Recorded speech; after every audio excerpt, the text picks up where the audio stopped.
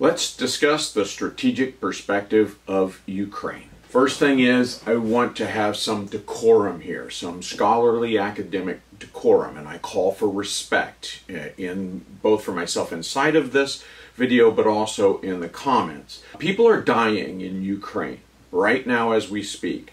So this is not history yet. I prefer to study uh, historical anecdotes and examples on this channel from those very contextual um, events to extract from them almost algorithmic, dry, formulaic, you know, okay, do this, don't do that. So our lessons learned. However, in Ukraine, uh, this is still um, very much a hotly contested war.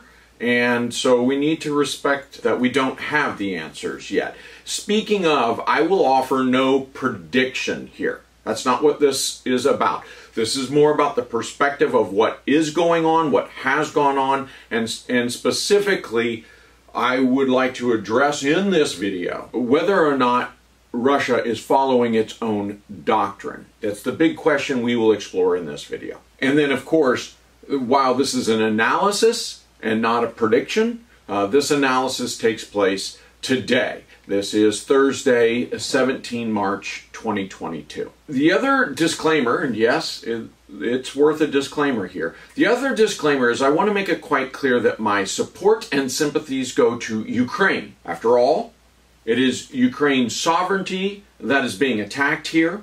Um, it is Ukraine's sovereignty, security, and its future that is at stake, much as its people. So I'm very much with and support uh, Ukraine.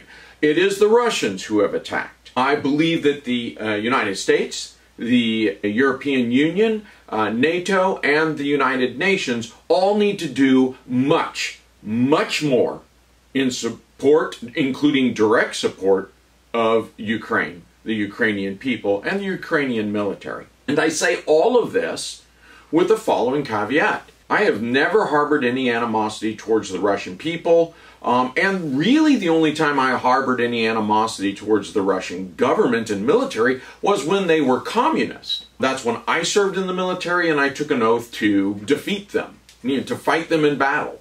But since the 1990s, they haven't been Marxist. They're not communist today. I'd say it's far more accurate that Putin, rather than trying to reestablish the Soviet Union, which is so often heralded in the news and social media, I'd say it's far more true, or far more accurate anyway, to say that he wants to usher in the era of the czars, and he sees himself as this dynastic um, czar figure. Since I mentioned the news and the social media, let me also go say that there's propaganda out there. It's very, very hard to, uh, you know, to part the wheat from the chaff. But that's okay. I, I'm not upset about that. Look, when you are in a fight for your life, as a nation and as a people in a military struggle, then you look to uh, your military to conduct information operations. And part of that is psychological operations, and part of that is propaganda. It's propaganda. And so we're seeing propaganda out there from every side. And not just the Russians and the Ukrainians. Oh no, we have propaganda from everybody with an agenda. So it's very, very hard to discern what is true and what isn't true, and I don't blame either side from leveraging healthy propaganda at this point in the conflict. That just makes good sense. That said, it makes it very difficult to conduct a, uh, you know, an analysis, uh, uh, you know, from a doctrinal perspective. Having admitted that, that it's difficult to really understand a ground truth, I will say that there are two realities that we need to recognize, or that, let me say that there are two realities I recognize as of 17 March 2022. The first reality is that Russia is winning this war.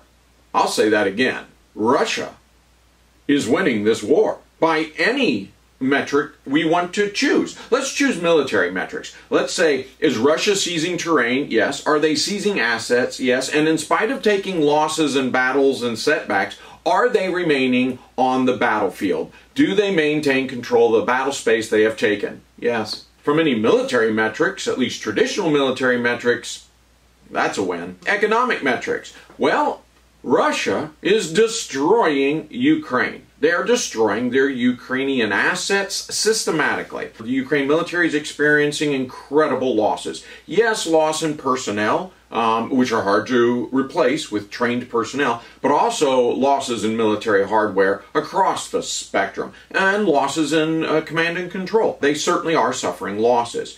Infrastructure. Ukraine is losing roads and bridges and airports and seaports, so their infrastructure is just being devastated. They're losing power stations for crying out loud. Civic assets, hospitals, schools, museums, and theater, arts and culture are being lost. And finally, private assets, homes and businesses are being shattered and burned to the ground. There is no metric that suggests Russia is losing on any front. The second reality that we're faced with is that Ukraine is putting up a stubborn defense. A remarkably stubborn defense. They are the underdog, and I think they have astonished the world with their military prowess and with their sheer grit and determination.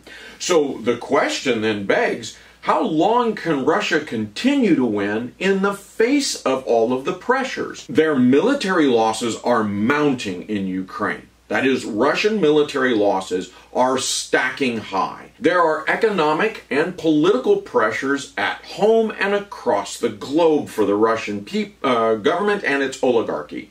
And speaking of the Russian people, um, there is civil and civic unrest at home. So Russia is being pressured across all fronts.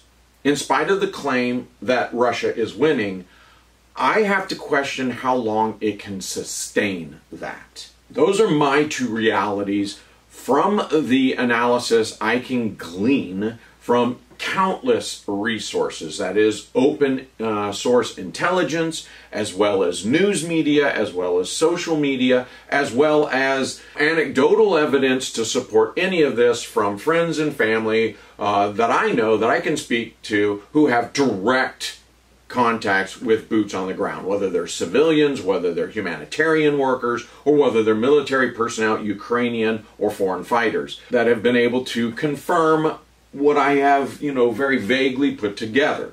Um, and so here's the other thing the analysis of Russian doctrine. Well, uh, lots of people claim to understand Red Team Army doctrine. They claim to understand it at a strategic level. I accept that. There's lots of lots of good stuff there.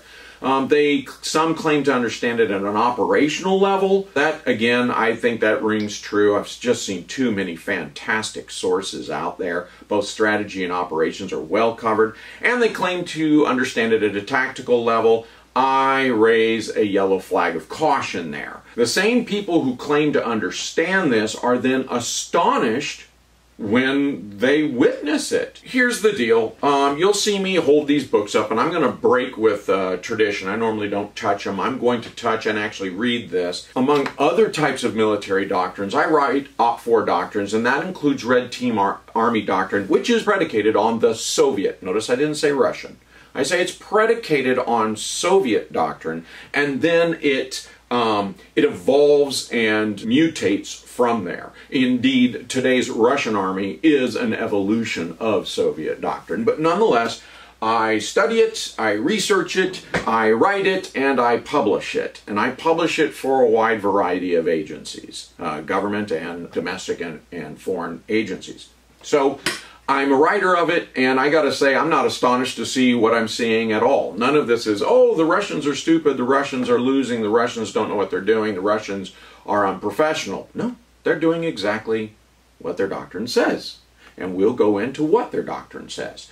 But let me start with a with a reference. This reference, like all of the smart books, is an amalgamation of oh I don't know. You'd have to open up the book and see. The point is, it's an amalgamation of many different sources on Red Team Army doctrine. And yes, while uh, it does include an overview of strategy, there are so many places out there that will offer it more in depth. Yes, this definitely includes operational warfare of the Red Team Army, including the Russian Army today. And it certainly goes down into the tactical doctrine. I think that's where this book is most daring, is that so very few um, government resources are willing to do that. The last time the uh, U.S. government attempted to describe enemy tactics was 1982 in the FM 100 series. So uh, it's certainly been a minute, whereas this book was published uh, originally in 2013 in color, if you can get an old copy like that. This one you'll see is black and white on the inside, so it's monochromatic, and it was, uh, this is the second edition. It was published in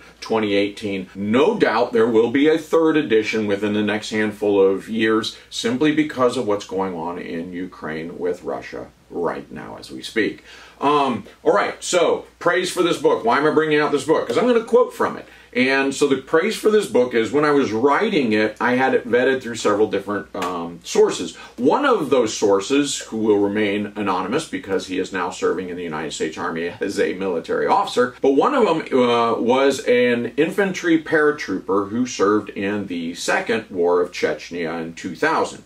And when he read over the tactics portion of this book to vet it for me, he had not met me at that time. He came, we had uh, lunch together, and he asked me point blank, he says, I realize you're not Russian, so you didn't serve. I said, no, I didn't serve in the Russian infantry. And he said, well, you must have consulted with several instructors because this is spot on. And I said, well, thank you very much. I, I appreciate that. I'd say the other great praise is simply this. The number one consumer of this book is U.S. government intelligence agencies. So, not exactly who I was targeting it to, but certainly our number one consumer. And so, I'm going to say it has some credibility, has some street cred out there. It is available to you through the Lightning Press. Uh, the only reason I really haven't championed this and really gotten into OPFOR tactics on this channel yet is, frankly, I'm waiting for Op uh, OPFOR 4, which is going to include hybrid threat. Basically, comes down to insurgency and guerrilla warfare, as well as terrorists, crime cartels, everything else. That book has also been a decade long in the coming, and when it's released later this year, uh, you'll be able to buy these in bundles, quite literally as sets, and get a better deal on it later in the year. If you want it now, get it now. If you want to wait, you know, six months, like I said, you'll be able to get a bundle. If you go to um, and we will. We'll go to uh, chapter 4, page 16, which covers unconventional warfare. I'll read from that. But I think before you even go there, um, because it, it offers a, a, really cool down and dirty graph. And that's what I'm going to read from. But the, it offers a graphic that I'll try to find and then you know, get the color version and include on this video. It talks about unconventional warfare, but essentially it's just flipping it. Red Team Army, and specifically the Russians, have the axe theory of escalation. And the way they describe this is they watched Western cowboy movies from the 19, you know, 40s and 50s, the old black and white, where the bad guy would walk into the bar and the good guy would stand up to, you know, to defeat him. And they would escalate the fight to the point it came, you know, pistols were drawn, right? Um, whereas that seemed very odd to the Russians, who in their own culture have Easterners. That is right. Horse riding kind of cowboys settling the Siberian and Mongolian fronts. So almost a, uh, an opposite of us, but we often forget that Russians are a cowboy culture, or at least they have uh, a nascent cowboy culture in their past. And so they always thought that was super weird because they have the axe theory of escalation, which says when you know you came to fight, when you know you came for total war, you pull out the biggest weapon you have. You don't go from fist to knives to axe. No. You grab the axe and you never use your knife or your fist. So that's the conventional uh, thinking of war. And if you're saying, well, the big axe would include nukes and biological weapons and chemical weapons, now you're onto it. Now you're getting there. That is the Russian doctrine. When I know I'm going to go to war, I'm going to carry the biggest weapon system I know that wins and wins quickly.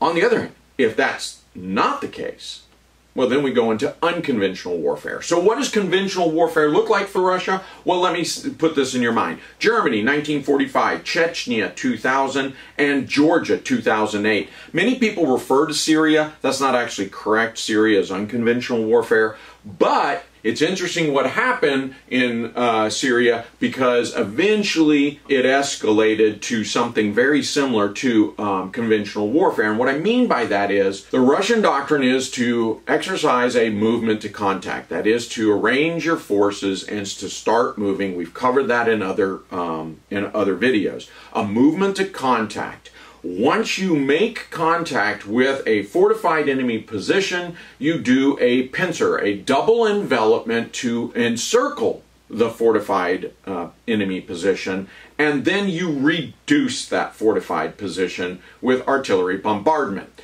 Does this sound like anything you've seen in Syria? Does this sound like anything you're now seeing in Ukraine? A movement to contact on highways in march formation, and then an envelopment, an encirclement, and a bombardment of fortified positions. If you say yes, then guess what?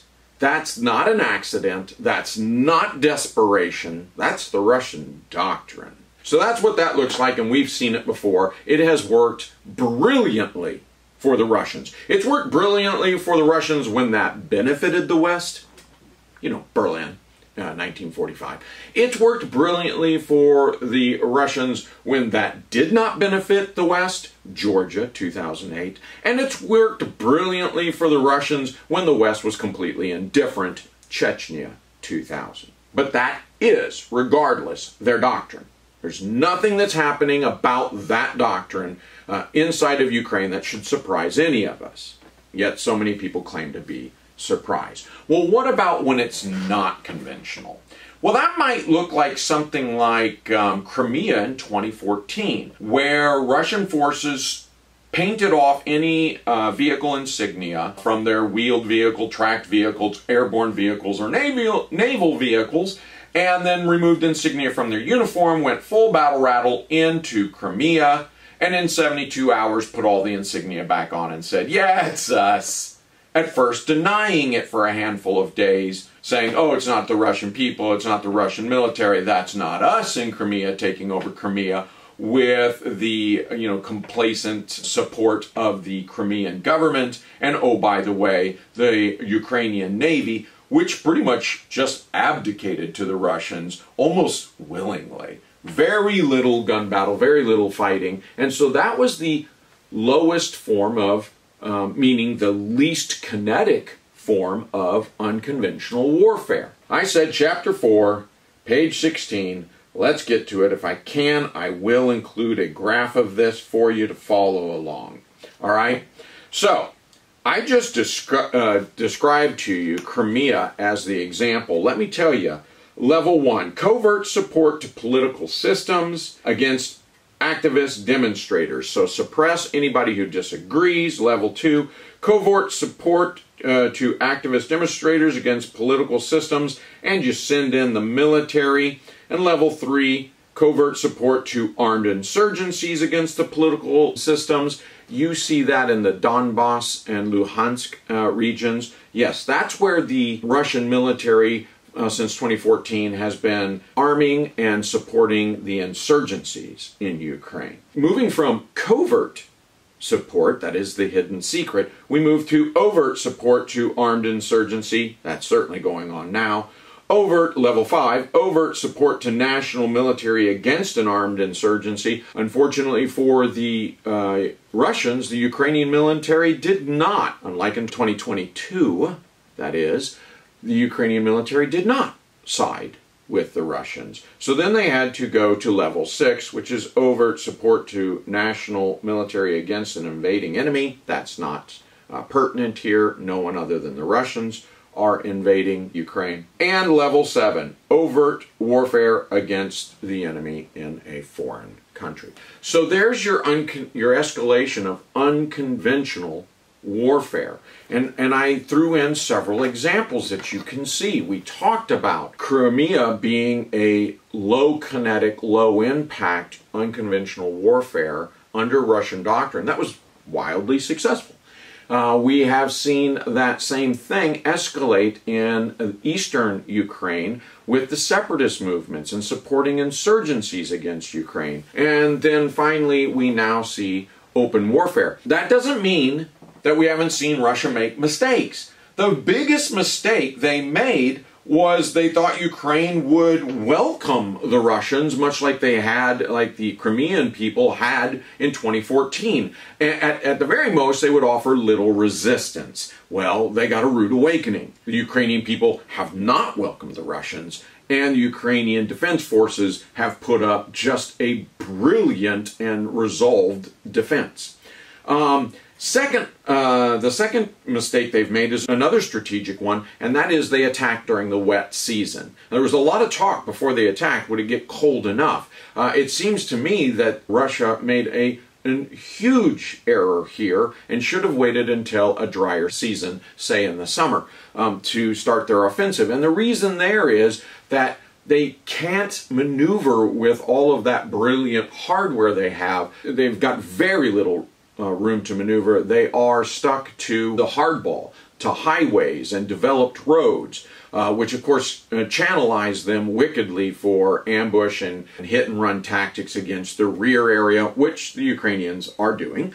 Um, and it allows them really only to expand in the cities. Well, that's all fine and well, but not before you reduce them. So there have been strategic errors on the Russian side that are costing them dearly right now. There's no doubt about that, but nonetheless, the doctrine is working. The other thing that people see is they're going, wow, are the Russians stupid? No. Are they as professional as we thought? No. And they rarely have been, by the way. They're, they're not professional. But even that is often misinterpreted. That we're looking for the Russians to behave like a Western army. Specifically, we're looking for them to behave like a U.S. military BLUFOR doctrine, and they don't. One of the biggest um, parts of the Red Team Army doctrine is certainly true for Russians that I think is dangerous has been their task organization to mission. That's right, let me say that again. For each mission, Red Team Armies task organize, and they do this. They've done this for 100 years. This is part of their doctrine. That unnerves me greatly. It unnerves me greatly because as a U.S. Army veteran, we were always taught that you're uh, on every mission, um, you're either an asset or a liability. And if you've just attached to me, I don't know you, and whether you're leading me or whether you're uh, subordinate to me makes no difference. I don't know you. We haven't had the chance to rehearse yet. I don't trust you. And so you are now a liability.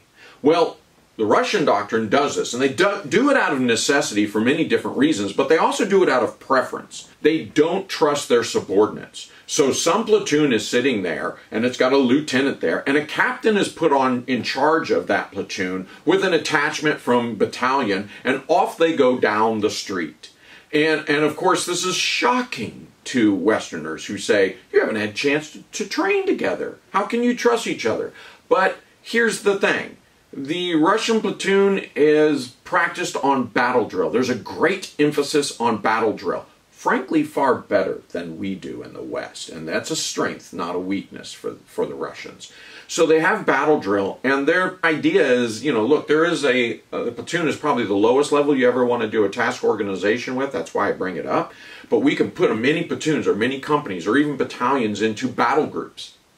And they know their battle drill. Uh, Many of them don't speak the same language because the Federation is so in, in, ginormously huge that they have many different ethnicities and language barriers. So they put them together, teach them battle drill, and let's not forget that the officer in charge is responsible for everything. It is micromanaged. In the West, particularly in America, we scourge micromanagement.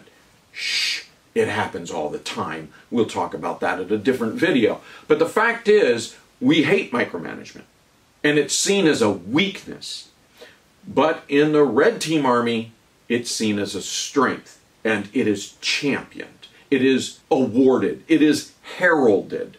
And so, given their predilection to depend on battle drill, and the fact that they expect the officer in charge to micromanage the entire mission, this allows them then to say, we can task organize to mission. And anybody in the agile business world will tell you, well, task organization to a mission is a wonderful thing. But as an American, I will say, whew, that's scary. This is life or death. There's no room for failure. So task organization seems to me to be a weakness. And I think that's why we're looking at the Russians now saying, wow, they don't know what they're doing. Wrong. They're using their doctrine, just as it's designed, just as they've been trained. Two things I want you to keep in mind. Number one, I'm offering no predictions. No predictions here. This is an analysis of the current events to date as of 17 March 2022. Also, this is not history yet. So let's be a little cautious here of being overzealous in our estimates because people's lives are at stake. Thank you for joining.